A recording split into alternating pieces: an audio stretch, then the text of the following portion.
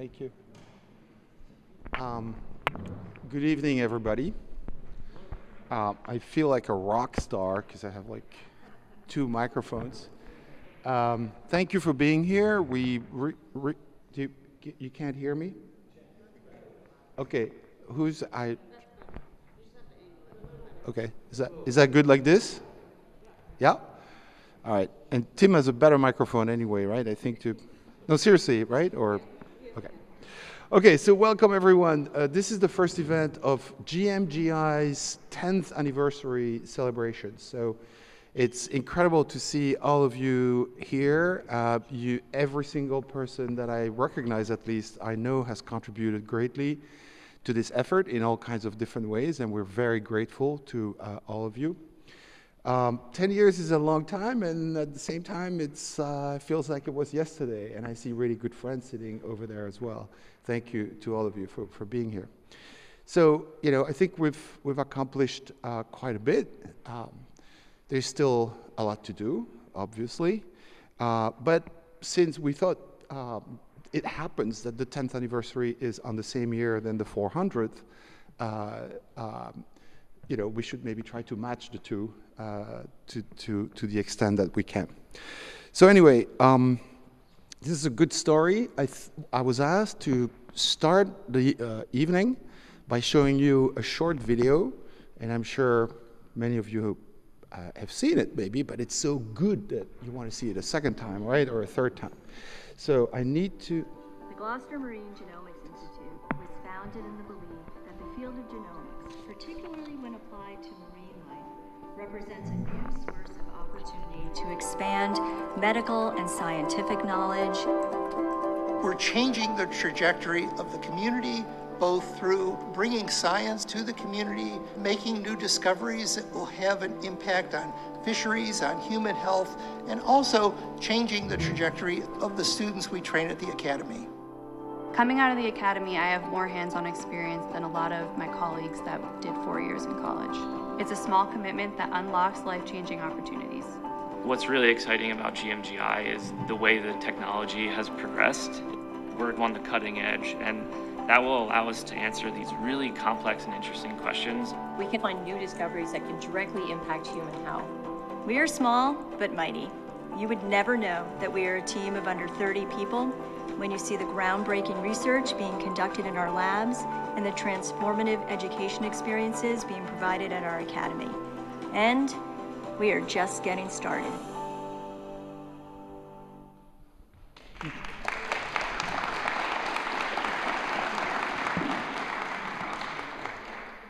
Um, thank you so much. Uh, I think it's a really beautiful, uh, beautiful piece of work. Actually, it got an award of some kind, right? I think. No, is that the one? Yeah. Um, okay, so um, you know, what have we done? Uh, you've heard a little bit about the research in the video and a little bit about the academy. Most of you know almost uh, you know what you need to know about both. I'll just remind you that at this point we have um, more than a dozen researchers there at 417 uh, Main. Um, we've graduated almost 100, if not more by now, uh, uh, uh, people from the academy whose life has been really changed. I mean, David Walt in the video says that you know, this is about changing trajectories. I think he's really right. I mean, I, you know, right now, today, this afternoon, I was speaking with one of them in my lab at Dana-Farber Cancer Institute, and I can honestly tell you, he just started last week. He in my lab, actually, he lives with a person who's sitting right there. Uh, and uh, that's cool. Uh, and he's honestly, and the last one we had was the same thing. They're honestly, at what we do in my lab specifically, they are better than college graduates. I'm serious. You can, there can be some catching up later, of course. I mean, you still should go to college. Should, you should go to college if you can, obviously. But, you know, that's where they are. Anyway, so uh, we also have uh, done some really good, uh, oops, progress on the research. And um, what I'm here today for is to introduce one of our fantastic researchers. So uh, before I do that, I was asked to give you a little sense of, you know, how we how we got to this point. Um, for those who haven't heard the stories, uh, amazing support from, from, from, um, from politicians, from elected individuals, amazing support from so many of you in the community. Um, and uh, the building of, of that place where we are right now, we're, we're fortunate to, uh, to be able to occupy these, um, these, uh, this uh, square footage. It's really uh, gorgeous. It was, you know, not maybe the fastest we would have im- imagined, but when you look at it, what's good about where we are, and I'm looking at people who directly help the, the uh, organization at this point, is on the human level, the people we have been able to recruit or who have accepted to, you know, provide a big chunk of their time to the goals that we have are really superb. I mean, I, you know, we've built this thing and we think we can really move on now with an amazing human scale basis. Um, as you know, our goals are several. I won't go through them right now, but uh, talk about tonight's subject, obviously one of the uh, major ideas and challenges, challenges that we wanted to address was to use research, high quality, worldwide recognized research, uh, to try to help informing on any issues that we could help with uh, for the fisheries and, and maybe aquaculture uh, type subjects. So to us, that's not the only thing we do at GMGI on the research front. Uh, Andrea Bodnar is sitting there, and she'll, she would do a better job at giving you all the details. But we also try to understand how the ocean can, what the living, you know, uh, uh, species and ecosystems in the ocean can help us uh, basically solving uh, human problems such as disease, cancer, and, and other things. Um, having said this, this is what connects to today's uh, uh, event. Tim O'Donnell is one of our amazing researchers at GMGI. He's a, uh, his, his title is research scientist at, O- at uh, GMGI, and he oversees the fisheries and aquaculture team, as I was just uh, relating to. So his research interests uh, originate from a passion to preserve the value of our fisheries by cutting edge uh, science and helping better understand and protect fish populations at the same time, right? We have sort of a window of opportunity here where we think there's still a lot of research that can be done.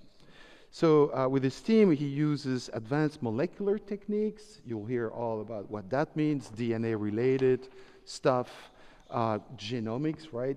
Gloucester Marine Genomics. He'll tell us a little bit about what that means. I imagine, I don't know.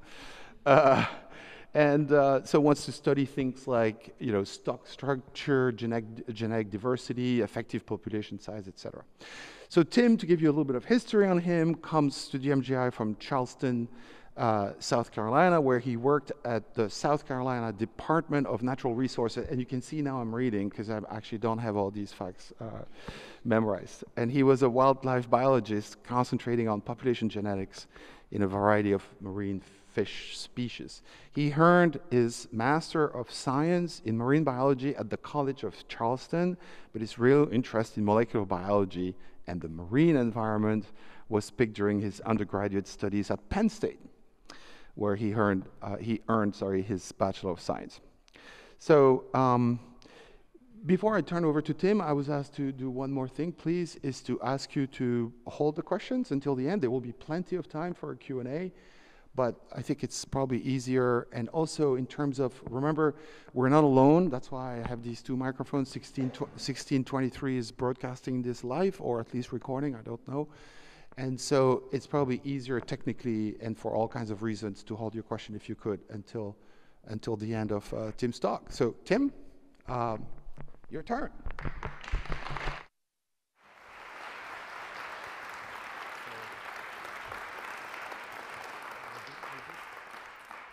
Oh, I should have put, uh, yeah, that was bad.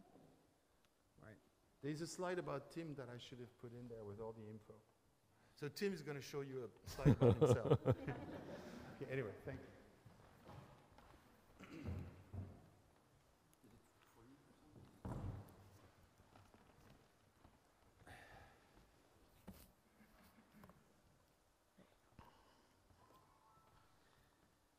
Okay.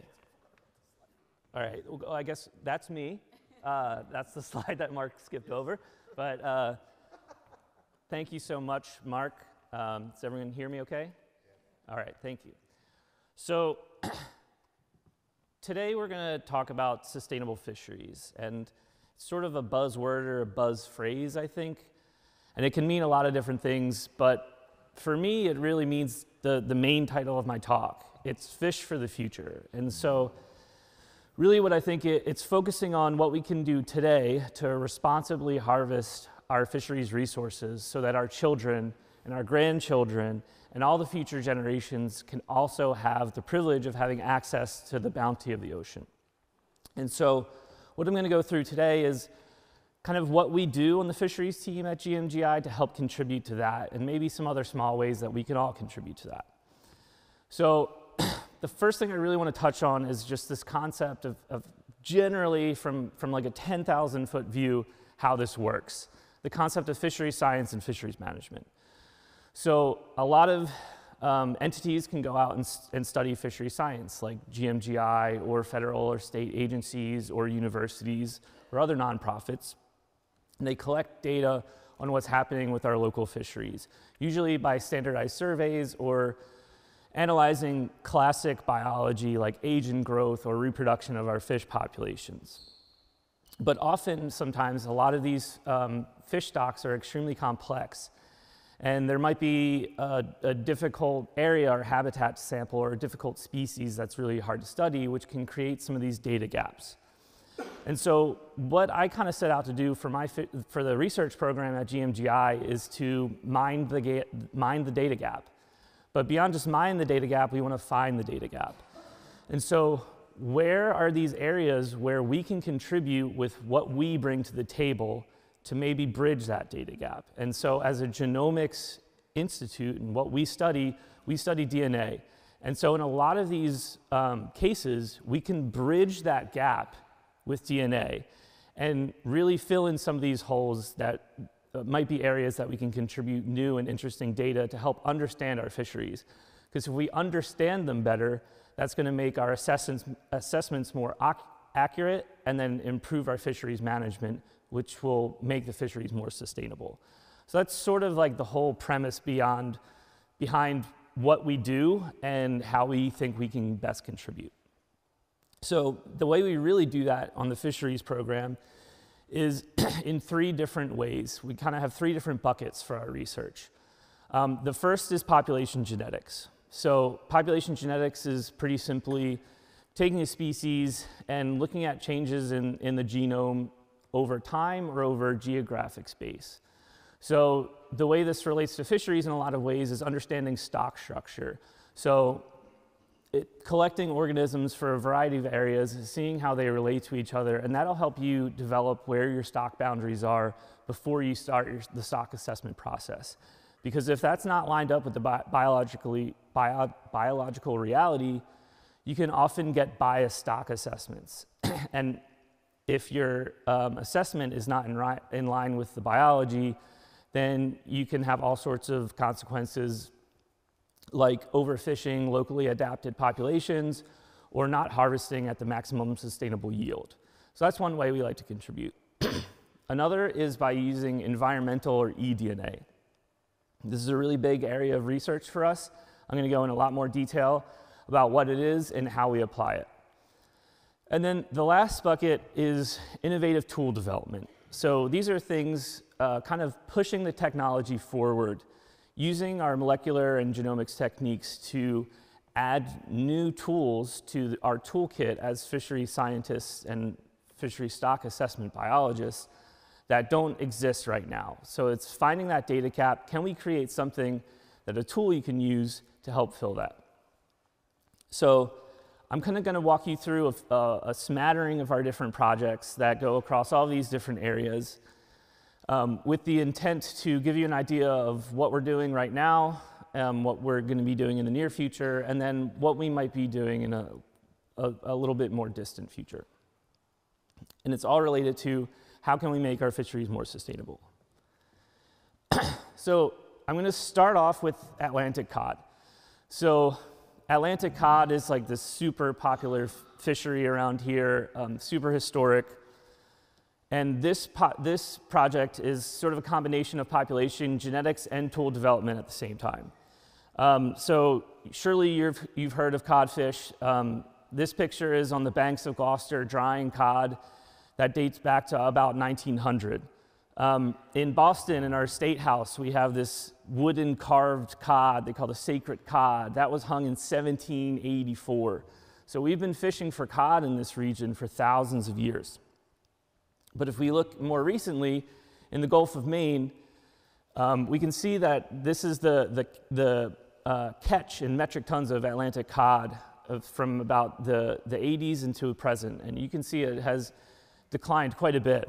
And there's many different reasons why that might be the case. Um, but one of the realities that, that we're discovering right now is that it might be because cod populations in our region are extremely complex.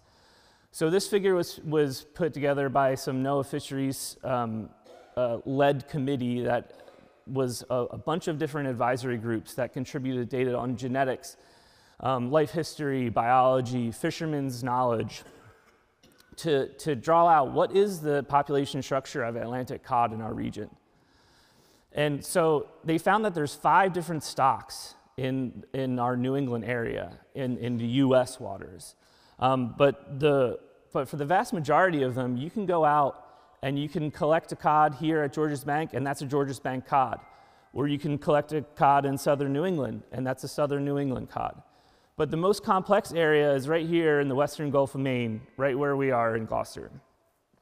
So what's happening there, as you can see from the stripes, is that there are actually two different populations that occur in the same space. so um, what's, what those are separated by are the time in which they spawn. So we have spring spawners and we have winter spawners in the western Gulf of Maine. And this stock structure working group has identified these as two different spawning groups, and that's been backed up by genetic information. But the issue is that you can go out in the western Gulf of Maine and collect a cod, and once it gets to a certain size, it's really difficult to tell whether it's a spring or winter spawner. So that's a data gap, right? So what we did is we worked with the um, Massachusetts Division of Marine Fisheries and collected about 200 cod in the western Gulf of Maine in known spawning conditions, so we could say whether they were spring or winter um, spawned fish. We sequenced the genome of those 200 individuals and then looked across the entire genome and found about 2 million different sites along the genome where there was some amount of variation that we could compare all of the spring spawners and all of the winter spawners. We boiled all of that variation down with an analysis called a principal components analysis into two analyses, uh, two, two axes. So on this plot here, you can see um, spring fish represented by orange dots and winter fish, fish represented by the purple dots. And when we looked across the entire genome at all those 3 million sites, we didn't see much differentiation. If we were to see nice, strong population structure here, we would see those colors um, grouping into different areas. But what we ended up getting is sort of this large mishmash of these colors. And so we started to think, well, why, why is that? So we looked more closely at um, those different areas along the entire genome. and so now each of these dots represents one of those sites along the genome. So there's 3 million points on this plot. And on the x-axis along the bottom there, that's the different chromosomes that uh, cod have. So there's 1 through 23. And on the y-axis is the amount of genetic differentiation between spring and winter caught spawn, spawning cod. So what you'll see is overall, most of that genetic differentiation is very low, but there's certain areas of the genome where we see really heightened differentiation, and that's what's driving that dif the difference between spring and winter spawn fish. So we did some analyses, we did some machine learning techniques to try and figure out what, what's the least number of of these spots on the genome that we can look at and reliably tell a difference between spring and winter fish. Because when we look at them all together, that pattern doesn't really come out. And what we found is we could narrow that down to 25 spots along the genome. So again, on the left is with using those 3 million spots, and then looking at just 25 locations along the genome, we can see a pretty nice separation between spring and winter spawned fish with about 90% accuracy. So now what we can do is we can take a small piece of fin clip from, from a cod, bring it into the lab, and then we can tell you whether it's a spring fish or a winter fish. And that will really help the stock assessment biologists, if that's the route they want to go, and, and assess cod. Now we have this tool that we provided. They, they can tell spring and winter fish apart, which was not available previously. So now I'm going to talk about a, much, a similar project, but a different critter. Um, on the top right corner, I'm going to have the picture of the, the fish I'm talking about. So if you kind of nod off during the talk and someone jabs you in, in the ribs and you wake up, you'll at least know which, which critter I'm talking about. So we're moving on to Jonah crab here. So Jonah crab are sort of quite different, whereas if cod are sort of the old hat, Jonah crab are like the new kid on the block in terms of the fisheries here. Um, it was tra- it's traditionally been considered bycatch in the lobster fishery. But more recently, um, landings and the value of Jonah crab have really taken off in the past two decades. Um, that's what this plot is showing here. But because they're such a more recent new fishery, we don't have a lot of biology about them. We don't tend to study things that don't have a lot of commercial or recreational value. But now Jonah crab so rapidly, all of a sudden, has this high commercial value. So it's a bit of a scramble to start studying and understanding the biology of Jonah crab. So they're conducting the very first stock assessment for this year in US waters for Jonah crab. And we've been talking to the stock assessment biologists on the Jonah crab technical committee of the Atlantic States Marine Fisheries Commission about conduct, conducting a similar population genetic structure view like we did with cod for Jonah crab. And so this is this is a great opportunity for us to sort of get in on the ground floor with this fishery that's just kind of getting started. This is the very first stock assessment they've done. Let's draw biologically accurate stock boundaries using a very cutting edge molecular technique right from the get go rather than doing it after studying cod for hundreds of years. So that's what we did. So we collected about 500 Jonah crab throughout the whole region ranging as far north as Nova Scotia down into New Jersey waters.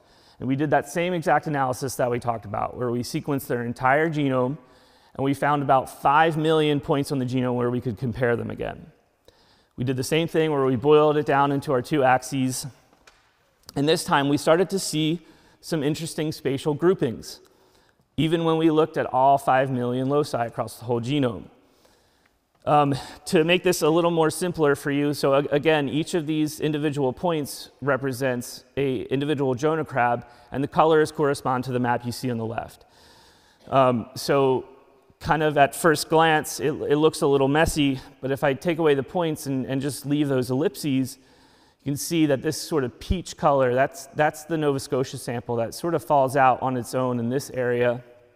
We have all of these sort of blues and greens are New England, and then this purple and pink are the two New Jersey um, sites.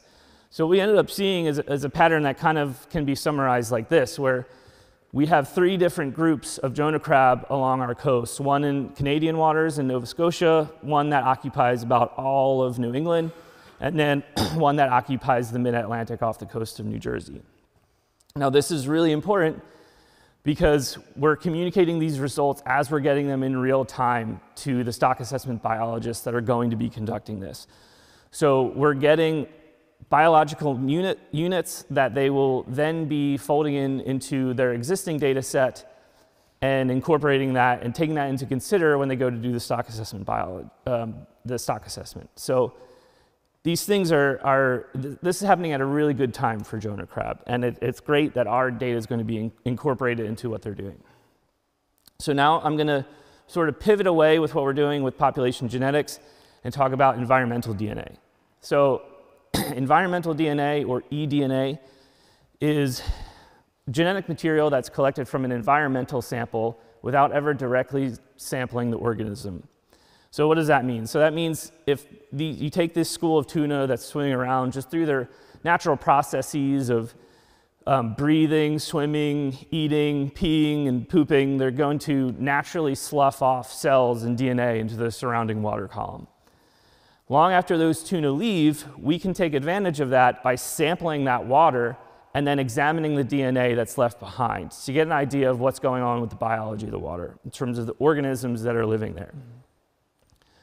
So the way we do this is we go out and we collect a water sample. As you can see, it's fairly low tech at this part of the, the sampling process.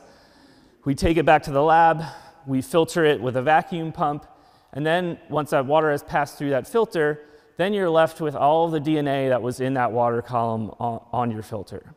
So we take that in the lab, we extract the DNA off the water column, off the filter, and then there's sort of two steps you can do with it afterwards until, in terms of how we process the data. The first is called metabarcoding. Um, I kind of refer to this as like this is the whole guest list for the party. So basically, what you're getting here in our case, because we're mostly interested in fish, is give me a list of all the fish species that are present in that water column, or at least whose DNA is present in that um, water sample that we took. The other one is uh, qPCR, or quantitative polymerase chain reaction. So this is more of a, a species specific um, approach. So this is kind of like, is the VIP in the house? So this is when you care about one particular fish species and only that one.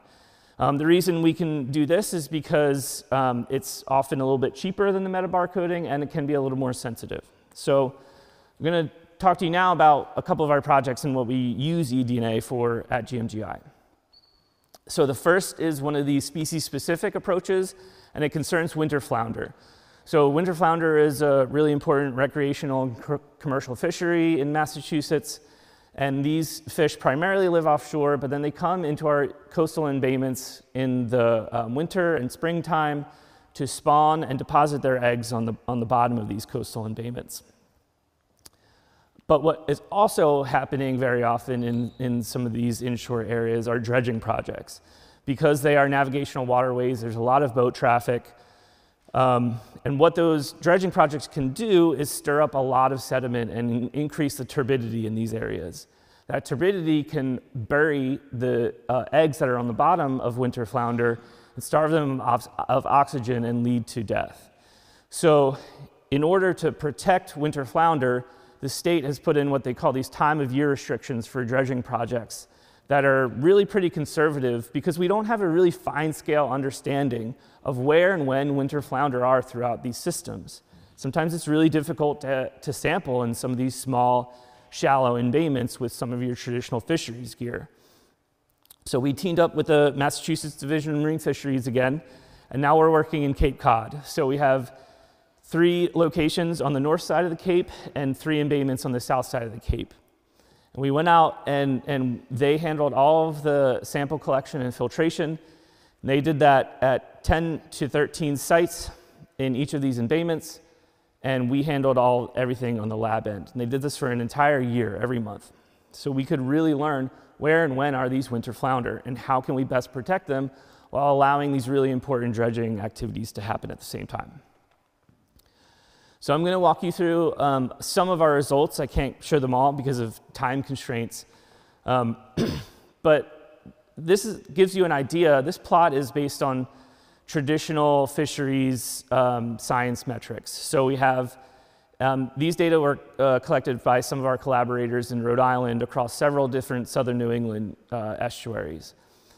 So um, it shows uh, the relative abundance of when we think uh, uh, adults are in, in these systems, measured by Fike nets, and then the same thing for young of year, which are measured by beach seines. So these are, these are the young of year that, that show up right after the adults come in, peaks around January and February, they spawn, and then the young of year grow up into a, a, a peak in July, and then slowly decline as they go through the gauntlet of being a small fish in a large area.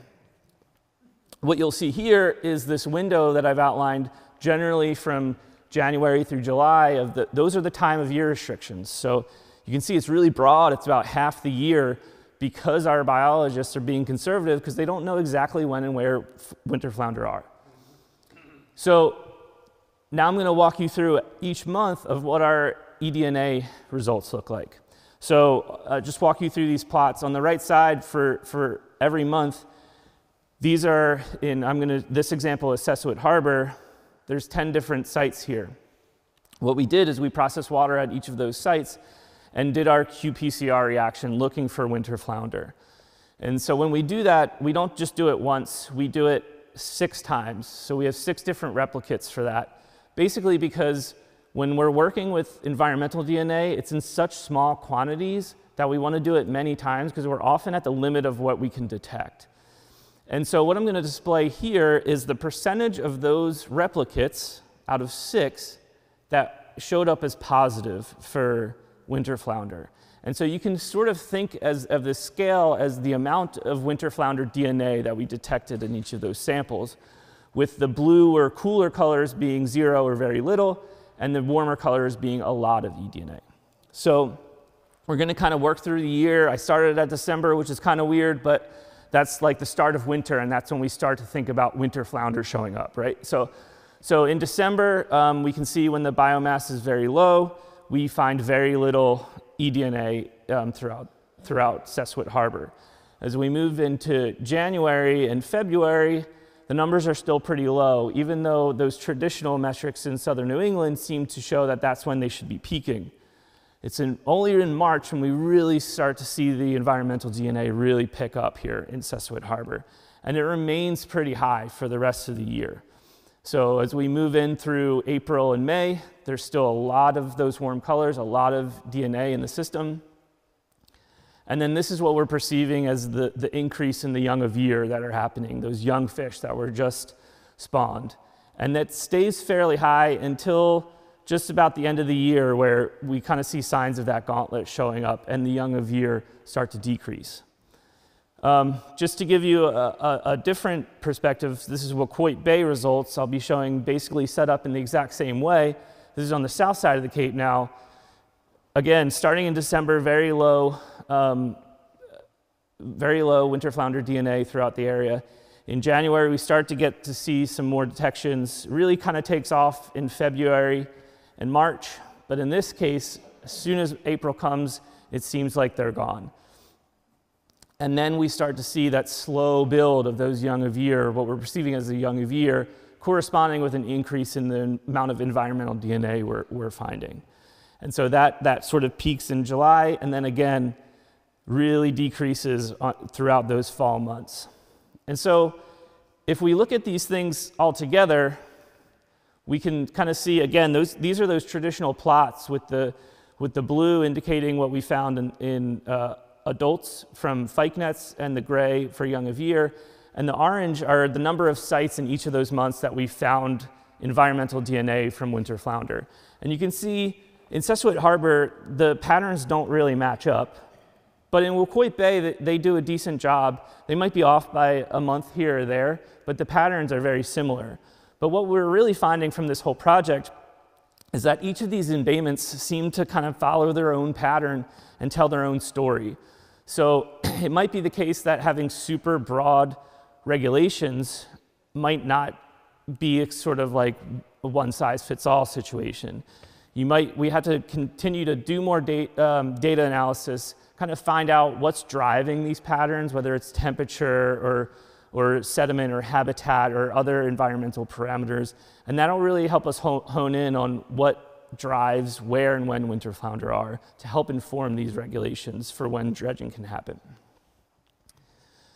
So now I'm going to uh, touch on a little bit about, uh, uh, very briefly, on a metabarcoding project. So again, this is rather than doing a single species, we're going to look at the whole community.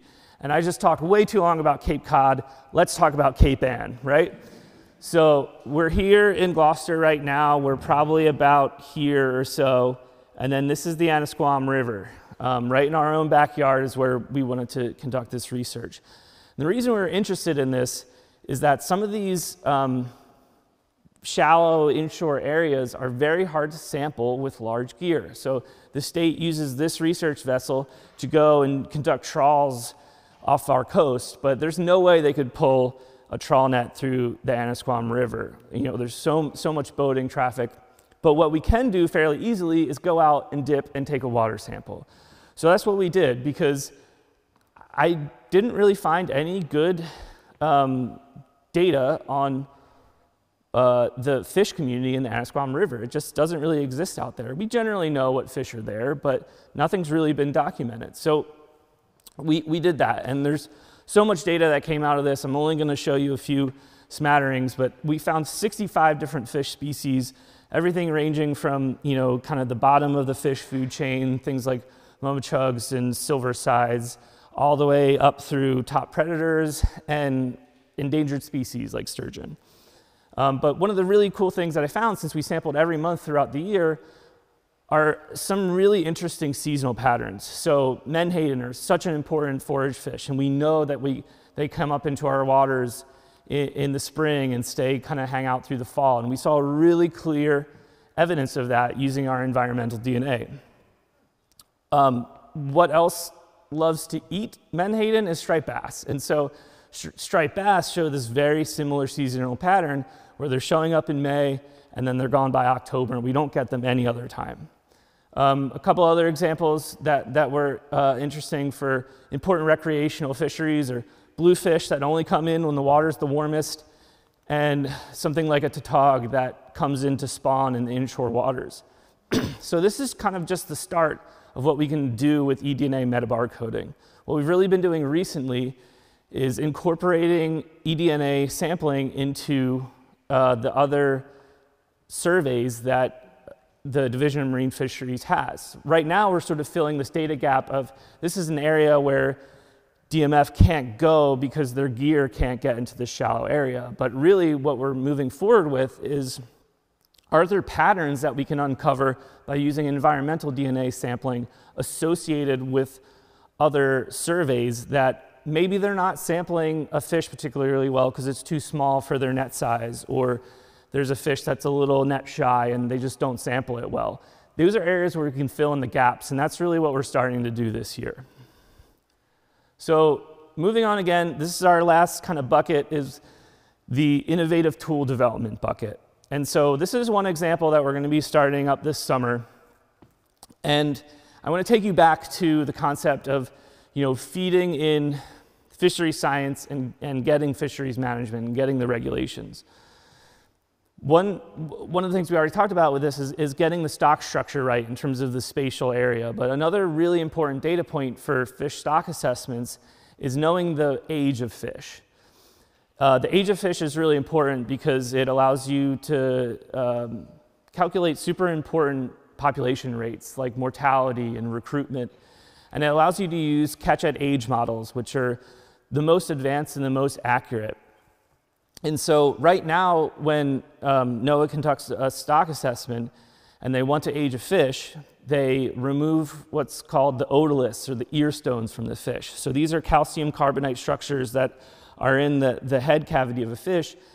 And as you can imagine, you have to sacrifice that animal to get those out you take a small section and then you look at it a under a microscope, and that's what this image is here, and you can count the rings just like you would count the rings on a tree to know the age of that fish. But that's a really good technique for the vast majority of fish. Um, it's, it's accurate, it's available, but there's examples out there like sharks and rays. Those are made of cartilage. They don't have bony structures. They don't have otoliths, so you can't do that. Um, things like very long lived fish, fish that are living for multiple decades, when they stop growing near the end of their life, those rings get really close together and it can lead to inaccuracies in stock assessments. So, one thing that we're proposing is to use this idea of using epigenetics to help age fish. So, if you don't know what epigenetics are, it's any small change that can happen to your genome without changing the actual sequence. So, over time, um, one of the most popular um, epigenetic things that we measure is called DNA methylation. So a methyl group is just a molecule that can be added onto your genome and it can help regulate gene expression. And what uh researchers have found mostly in the human medical field is that over time, that DNA methylation can age. So right here we have this boy and as he ages into a man and ages into a, uh, let's call him a more seasoned man, um, you see the rate of um, DNA methylation change over time. So we can look at specific sites in the genome and get a really good epigenetic age, basically forming a clock with this. So we're planning on uh, doing a collaborative project with NOAA this upcoming year where we're first focusing on haddock and then applying that to a universal fish tool, aging tool, that then we can start to use that on some of these fish species that don't have otoliths or that are very old or don't put down annual marks in a regular way. So that's just one other way that we're, we're trying to contribute to the accuracy of fish stock assessments. So that's kind of what we're doing right now and some of the things that we have in the very near future. I'm just going to very quickly talk about, since we're talking about fish for the future, let's talk about some things that we hope to do and some of the technology that's kind of right on the cutting edge right now. So we talked about metabarcoding with eDNA. That's kind of the guest list for the party, right? And I get asked this question all the time when I talk about environmental DNA is, well, you can tell me who's there, but can you tell me how many are there? Um, and so we're kind of, we're getting close to it. Um, when, when I started at GMGI four years ago, and when people ask me, can we do this? I kind of said, no, we're, we're not there yet. Now, four years later, I'm saying, maybe. we're getting better at it, right? And it's only going to continue to, develop. So, just to illustrate this, this is some work that's been happening on the West Coast. The x axis here is basically your fish counts from your survey. On the, on the y axis is the number of sequence reads you get back. And that dashed line is like a perfect correlation. Obviously, you can see it's nowhere close to there, just kind of because of some of the molecular machinery that goes from taking your sample and then all the way to the process of getting your sequences back. Things get um, sort of transformed in that process. Um, in starting to look at some of that molecular machinery, this group has um, kind of made some adjustments and gotten very much improved correlations. So I don't know if we're there yet, but we're getting very close to being able to, you know, dip a water sample, analyze it, and then get an idea of actually counting the number of fish that were in that original water sample. One more example I'll, I'll tell you about is called close kin mark recapture. And so uh, to, in order to understand close kin mark recapture, you first have to understand a classic ecological process called mark release recapture. And so the way that works is if you go out and we sample five fish and we tag them, and they're represented by these red fish here, you release them out into the population, let them intermingle, and then go back a week later and sample again. If you have a relatively small number of tagged fish in your sample, that indicates that you have a larger population. But if we were to redo this on a smaller population, you tag your same five fish, you release them, you go back a week later, and you sample again, you can see that a lot more of those are tagged fish. So you do some pretty basic math based on how many you tagged, how many you got back, and how many were tagged and not tagged fish. And that gives you an idea of what the census size of the population is we can take that same structure and, and use some genetics to, to kind of flip it on its head a little bit. And this is what we call close kin mark recapture. And so it's the same sort of idea, but in this instance, we're, we're sampling a bunch of juveniles, which are indicated by the small fish here, and adults throughout the population. We can genotype those and then see and try to find related individuals. By doing that, these fish effectively mark each other. And it's so if you think of the same kind of structure as what we have with our mark release recapture, if you find a lot of related individuals, that means your population is smaller. But if you find very few related individuals, it's much larger.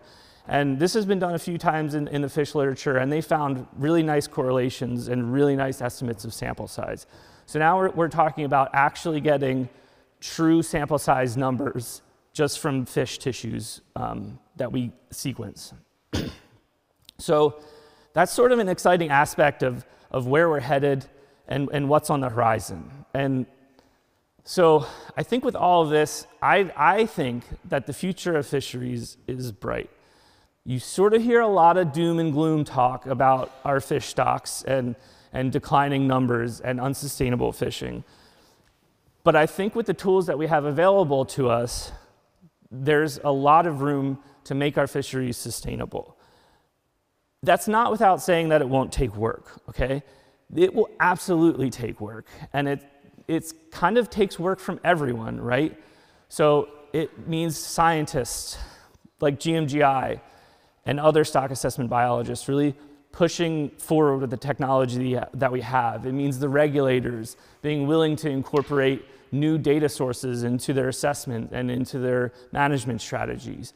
Um, industry members being flexible and understanding that regulations are going to change. And then consumers, you have a lot of power to kind of drive the market and, and ask for sustainable options. Um, so I, th- I think the last point that I want to make is that while it takes work from all of us, we can't be siloed in our own sectors.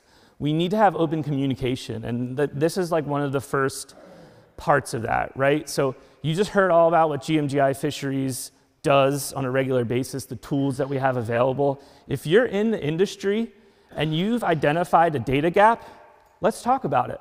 Let's see if we can fill that data gap with the tools that we have available. Now you know what we're all about. Um, so if you want to talk about it, my email is up on this page, and I also have some cards out on the registration tables. But I'd really like to highlight my team here um, uh, Dylan Combe and Carly McCall. They did the vast majority of the work that I presented on and made the projects happen. Um, and I just want to give them a quick plug. In about two weeks, they're going to be talking in a little more detail about two of the projects I talked about tonight Jonah Crab and Winter Flounder. So that's next Tuesday uh, uh, in Ipswich. You can register for that online. Um, and so, with that, I'd also like to thank all of our funders, including all of the donors that are here tonight, and the incredible, incredible support we've gotten from the state um, and I'd like to thank all of you for your attention, and I'd be happy to take any questions.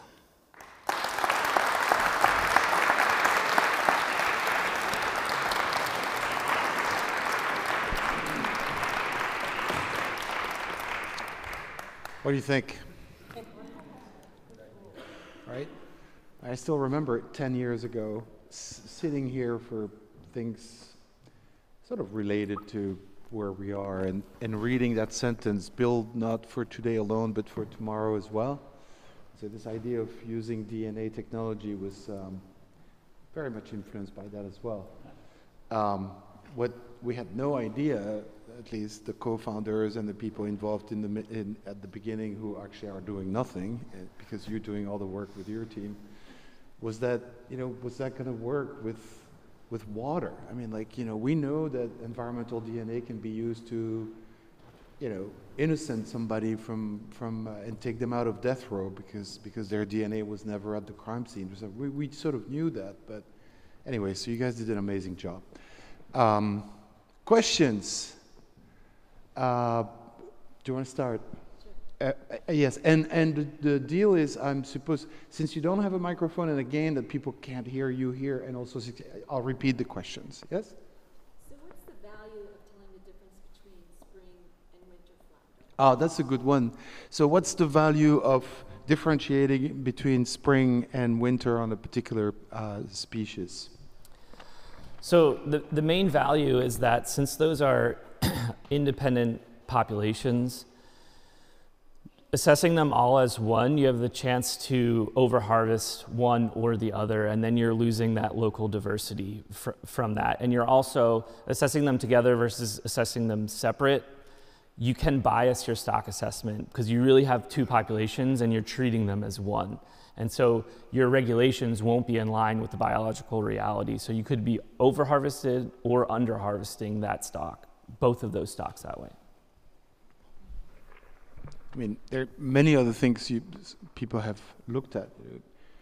Uh, migration distances, for example. I remember the tuna example. It's, it's, if you don't put that into your models, things can go very wrong rapidly in terms of assessing what, um, what, what the stocks are. This is another beautiful example of that. Was that was that clear? All right. Another question. Yes.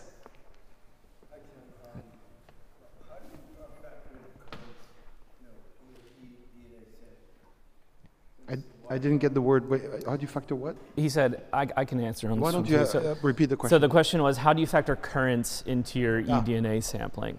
It's a great question. Um, you kind of have to do your best a little bit. Uh, so like winter flounder, for example, or the Annisquam River, we're sampling in all those locations at low tide. So if you think about an estuary, at low is going to be when all the water is sort of pushing out. And so that's going to really highlight your chances of getting water that's endemic to your area that you're sampling. So there's a couple of strategies that we use.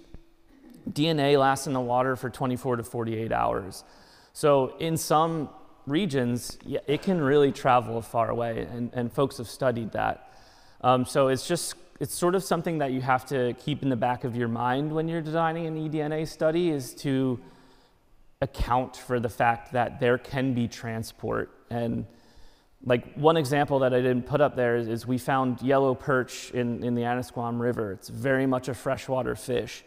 But we found it in March when, and when yellow perch are spawning. And so they're putting all of their gametes, all their DNA out in the water in this one big pulse, and then currents are carrying it, and it's degrading over time, but it can still get to our sample. So you have to be really important, uh, really critical and careful of how you're analyzing your results. I don't think there's yellow perch in the Annisquam River, but we could piece together a pretty uh, parsimonious answer that says, oh, th- they're spawning at this time, that's the only time we find them, that's what's happening. Great. Another question. Yes, please.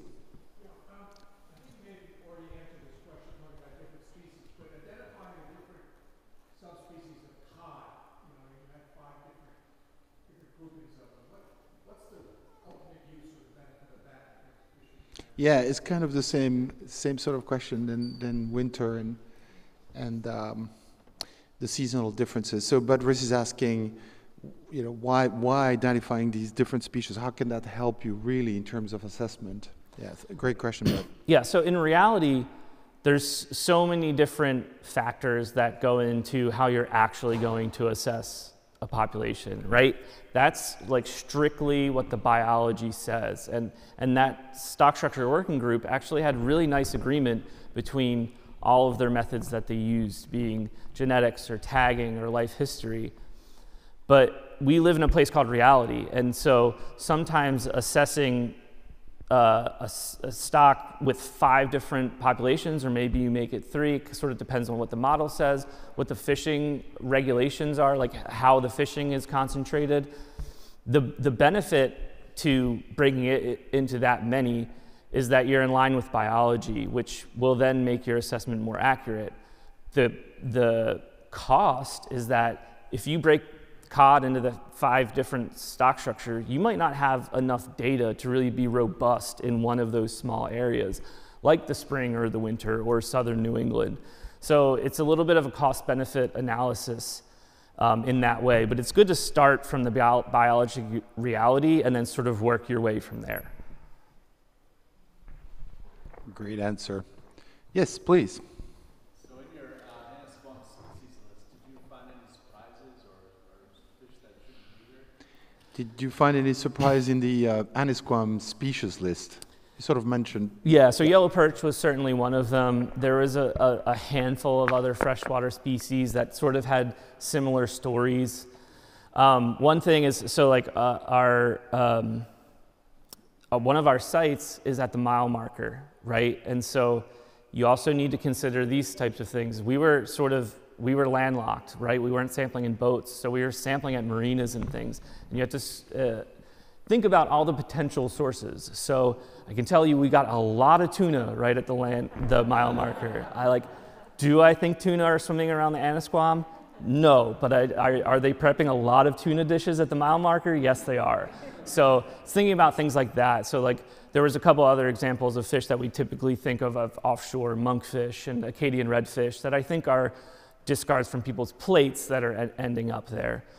Um, there, there's another interesting example of, of sand lance. There's, there's a Pacific species and there's a couple of Atlantic species, but we kept finding this match to this Pacific species. And And that really, the issue there that, that I really dug into to try and find out is it's actually an issue with the reference database. So when you do this work, you, you, do, you um, sequence your strand of DNA and then you have to match it to something to find out what it is. So that was a mistake in the reference database, and I actually saw it throughout the literature many times in the Atlantic of people saying the Pacific sand lance was, was detected in Atlantic waters, but people really weren't doing their homework. And, and sometimes I can understand why, is because when you get a list of 60 some species, you really have to do your homework on each one of them and evaluate it critically. Anything else? Uh, one more question over there. Yes, please go ahead. Do you have the sequencing instruments oh.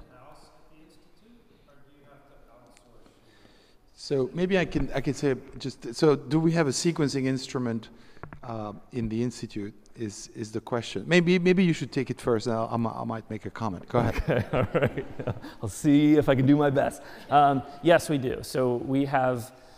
Um, we, we have three different sequencers in house. Um, so that's um, and I'll, I'll, let Mark comment on what he's going to comment, but it, it's, it's actually go ahead, go ahead. a really beneficial thing, I think, for all of our staff because that's kind of a rare thing. You, even some of these larger universities don't have access to this. So we can train our staff on the whole process from, from taking the water sample, filtering it, extracting the DNA, and then actually sequencing it in house, where most other people that work in the labs like ours have to send that out. And so they don't get to see that last process, part of the process. And so I think it's a really valuable training tool. And we have an amazing opportunity to have access to the sequencers that we do.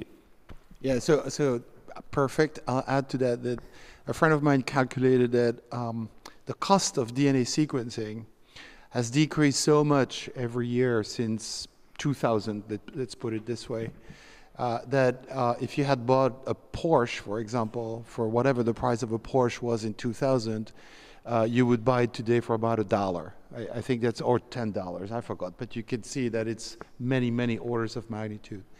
And there were a bunch of things that were uh, involved, of course, that, that sort of got into, converged all at the same time for that amazing decrease in cost. But one, one key one was developed by one of the co-founders of, of GMGI. His name is David Walt and uh, through the a company called Illumina. And so, of course, there's constantly, you know, I mean, we, we kind of think DNA and sequencing, and that's why genomics came into the, the name of the, of the institute to begin with. Yeah, so, but I mean, his answer is perfect, but um, this, it's, and that really is also still to this day at that scale. We're small, right? No doubt if you compare us to uh, you know, um, uh, Woods Hole or places like that. I mean, there's, there's plenty of marine, beautiful marine biology uh, institutions. Uh, you know, Nahant is one of them. I mean, Bigelow's, whatever. Um, but that angle of, of, you know, looking forward and using DNA uh, technology to solve problems out there, we're still kind of sort of unique in that, in that um, window of opportunities. Anyway, oh yeah. more, more questions. Yes. Ha, Tom, how you doing?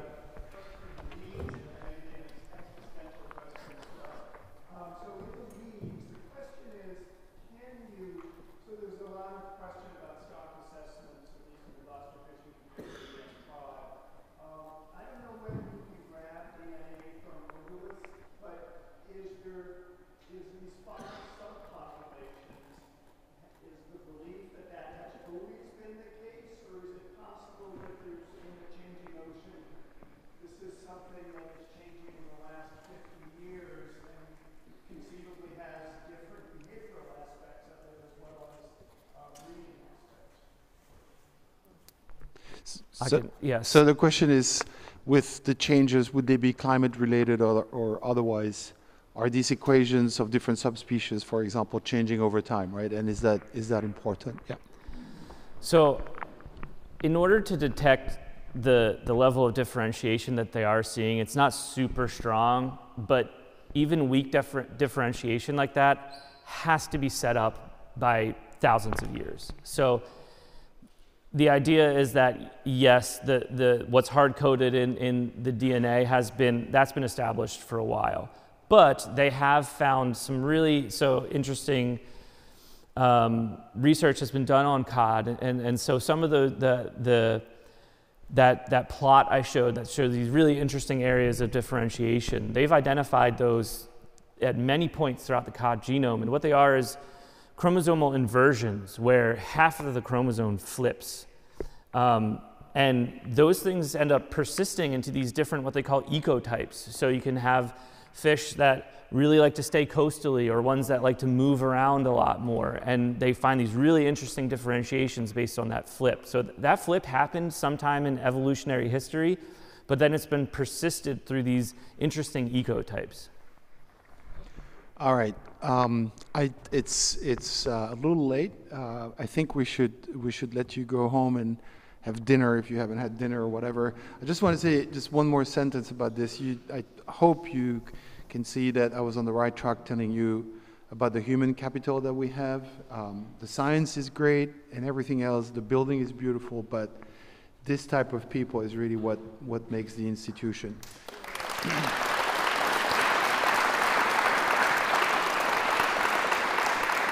and and the second thing, we can thank every single one of them one at a time for a lot of things you've done.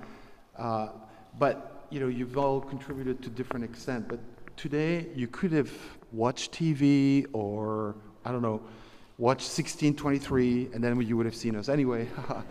uh, but we really appreciate you for all the help and all the, the uh, support and for being here tonight. So thank you so much.